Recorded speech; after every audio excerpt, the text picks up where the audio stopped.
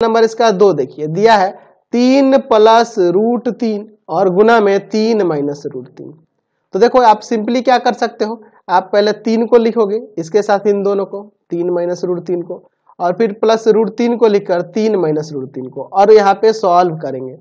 तो यहाँ हो जाएगा नौ, माइनस का तीन रूट तीन, यहाँ गुना करेंगे तो प्लस का तीन रूट तीन, और रूट तीन में रूट तीन से होगा तो तीन आ जाएगा। ये दोनों कट जाएगा, प्लस माइनस में है तो नौ में से तीन गया, आपका छः आ गया। तो छः यहाँ से इसका माना गया। हम लोग यहाँ पे